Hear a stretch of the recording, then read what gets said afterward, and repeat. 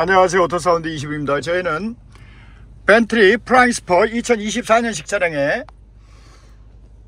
발판 밑으로 Helix V18 DSP 그리고 Eton 제품의 Onyx front 3way rear 3way 센터 그리고 Focal 8인치 우퍼를 장착한 후 동영상을 촬영하고 있습니다. 아주 그래프 좋게 타겟 안으로 딱 맞도록 되었으며 아주 깔끔하고 질감 있는 사운드로 음악을 들으실 수 있으리라 생각합니다. 제가 커브 조정했지만 아주 quality 있는 사운드로 음악이 나올 것 같습니다. 벤틀리 Flying Spur 2024년식 차량이었습니다. 감사합니다.